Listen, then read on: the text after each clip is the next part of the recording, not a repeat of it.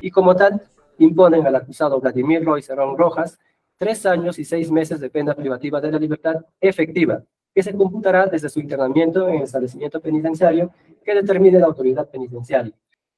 En este extremo, los jueces superiores Chipana Guillén y Mesa Reyes consideran que debe ejecutarse la sentencia de primera instancia con, esta, con este pronunciamiento superior.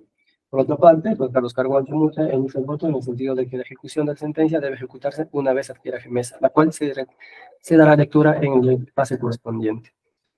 Decisión. Por los fundamentos expuestos, los magistrados de la Sala Penal Transitoria Especializada en Delitos de Funciones Funcionarios definen por unanimidad resuelven, primero, a haber mérito para imponer medida disciplinaria a los abogados Luis Miguel Mayo Aquispe, Homer Caín Malpartida Martínez, y Ángel Edwin Espinosa por presunta infracción a los derechos de abogados y dispusieron el archivamiento definitivo. Segundo, carece de objeto emitir pronunciamiento respecto del recurso de apelación formulado por el acusado Eddie Ramiro Misari Conde contra la resolución número 45 de fecha 6 de diciembre de 2019, a través del cual se resolvió declarar su infundada la excepción de procedencia de acción deducida por el acusado en referencia, por los fundamentos expuestos. Tercero, declararon infundada la excepción de prescripción de la acción penal deducida durante los alborotos de clausura por la defensa técnica del acusado Vladimir Gonzalo Rojas en su condición de autor de la comisión del delito contra la administración pública en la modalidad de colisión en agravio del Estado. Cuarto, declararon fundada la excepción de prescripción de la acción penal deducida durante los alegatos de clausura por la defensa técnica de la acusada Natalia Yanina de la Vega Estrada en calidad de cómplice de la comisión del delito contra la administración pública en la modalidad de colusión en agravio del Estado, Gobierno Regional de Junín. En tal virtud dispusieron el archivamiento definitivo del proceso en extremo de la pretensión punitiva a favor de la acusada, ordenaron la anulación de los antecedentes policiales y judiciales que se hubiera generado por la tramitación del presente proceso, diligenciándose los, los oficios correspondientes. Dejaron subsistente la imposición de pago de la reparación civil carece de objeto emitir pronunciamiento respecto de los agravios propuestos. Quinto, declararon infundado los recursos de apelación formulados por el representante del Ministerio Público y la Procuraduría Pública especializada en delitos de corrupción de funcionarios. En tal virtud, confirmaron la sentencia apelada en el extremo que falla, absolviendo a Henry Fernando López Cantorín, Eddie Ramiro Misari Conde, Silvia Edith Castillo Vargas y Saúl Arcos Galván de la acusación fiscal formulada en su contra como presuntos autores de la comisión del delito contra la administración pública en la modalidad de corrupción en agravio del Estado, representado por la Procuraduría Pública, declarando infundada la pretensión del actor civil de determinar consecuencias jurídicos civiles en contra de los acusados absueltos, disponiendo que una vez consentida o ejecutoriada que sea este extremo de sentencia, se archive definitivamente los actuados, oficiándose para la anulación de los antecedentes que se hubieran generado dispusieron remitir copias certificadas de las piezas relevantes del proceso al fiscal de la Fiscalía Provincial Especializada en delitos de corrupción de funcionarios de turno de Huancayo para los fines desarrollados en el numeral 19.2 de la presente resolución, a fin proceda conforme a sus atribuciones, y remitir copias certificadas de las piezas relevantes del proceso al jefe de la Autoridad de Control del Ministerio Público del Distrito Judicial de Junín para los fines desarrollados en el numeral 19.3 de la presente resolución, a fin proceda conforme a sus atribuciones. Sexto, declararon fundados los recursos de apelación formulados por los acusados Luis Donato Araujo Reyes y Mercedes Irene Carión Romero.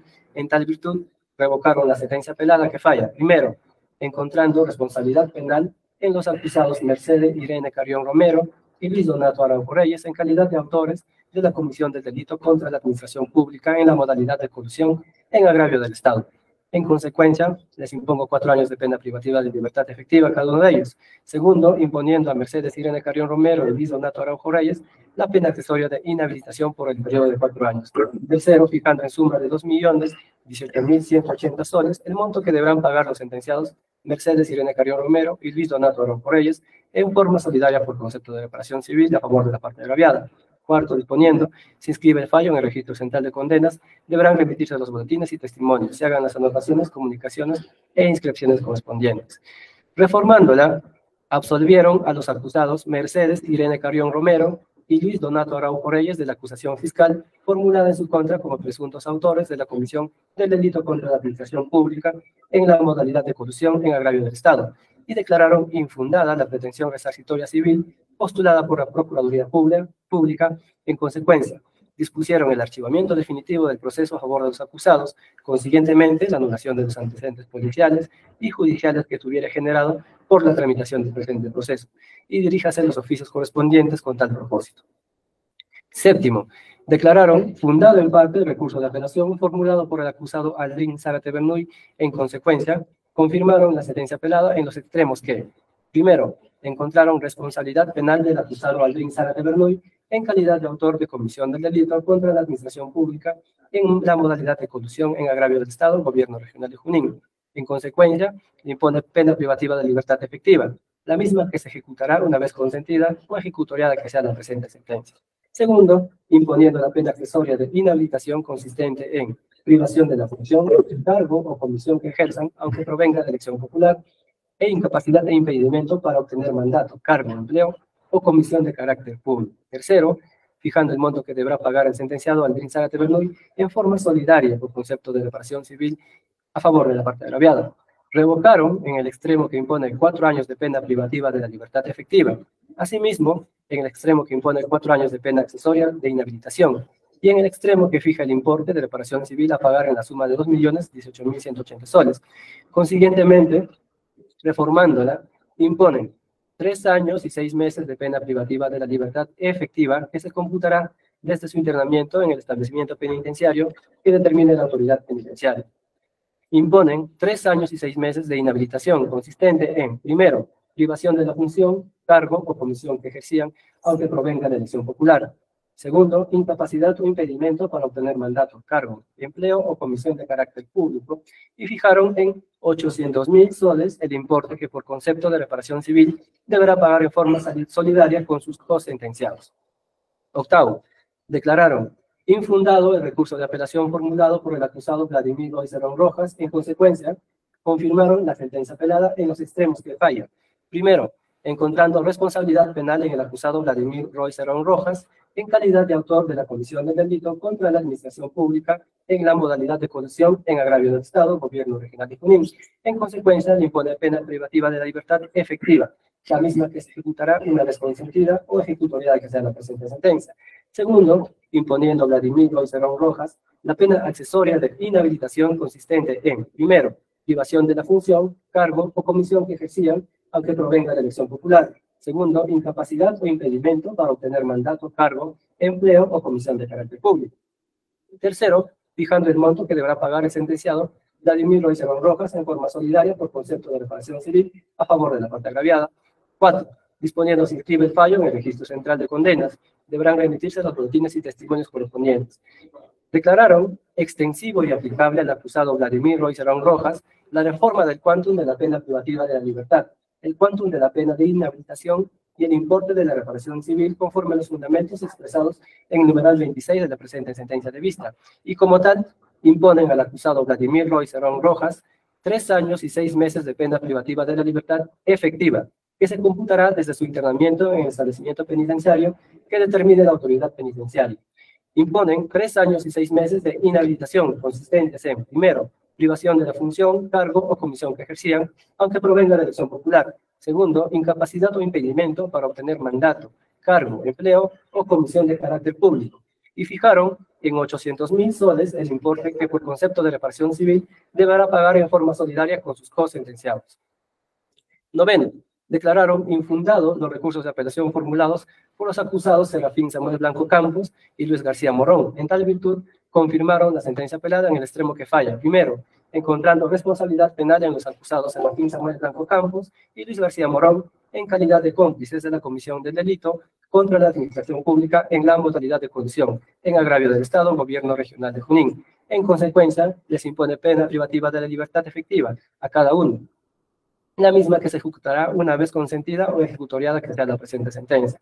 Segundo, imponiendo a Joaquín Blanco Campos y Luis García Morón la pena accesoria de inhabilitación consistente en, primero, privación de la función, cargo o comisión que ejercían, aunque provengan de elección popular. Segundo, incapacidad o impedimento para obtener mandato, cargo, empleo o comisión de carácter público.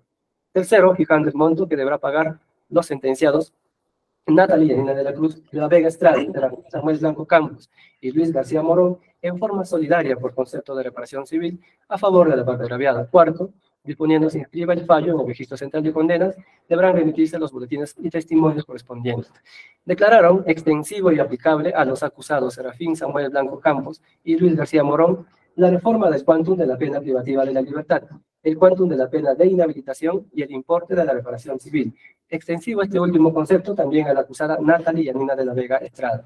Y como tal, imponen a los acusados Serafín Samuel Blanco Campos y Luis García Morón tres años y seis meses de pena privativa de la libertad efectiva, que se computará desde su internamiento en el establecimiento penitenciario que determine la autoridad penitenciaria competente.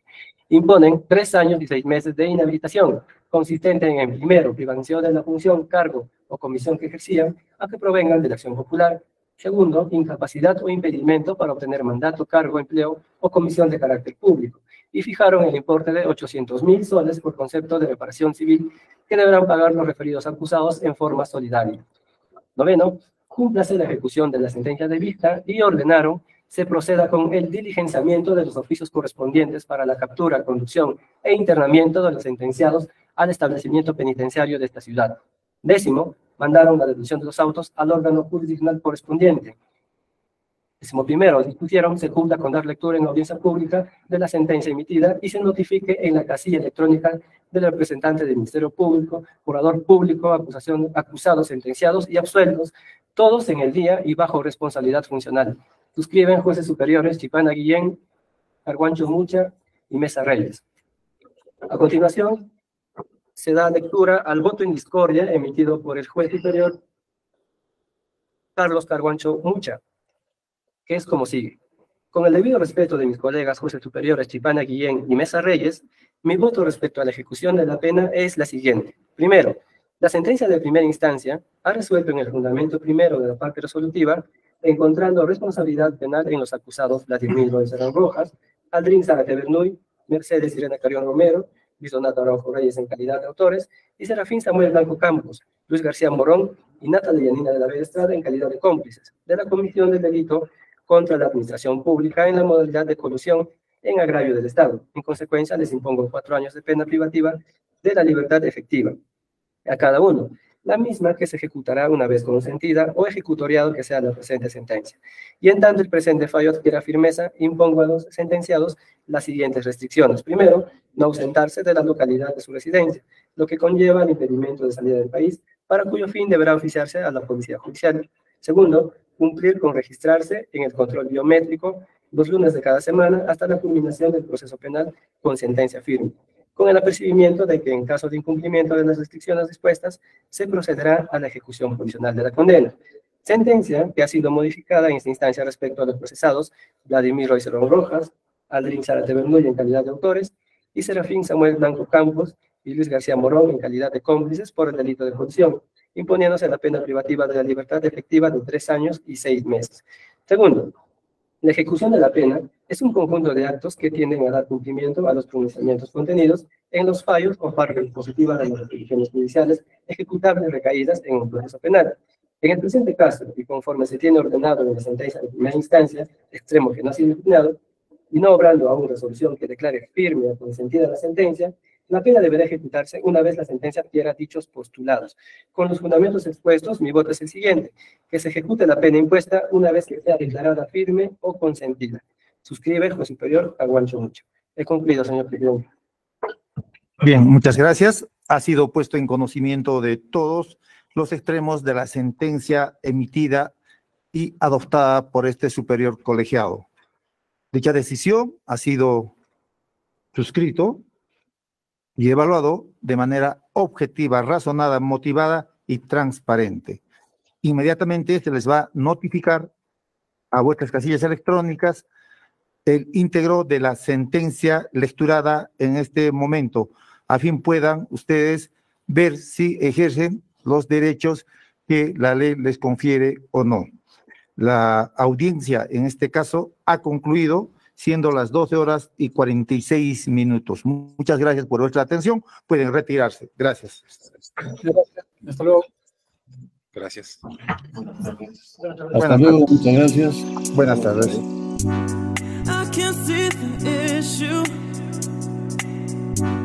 Yeah, believe me, I need to keep myself alive. But I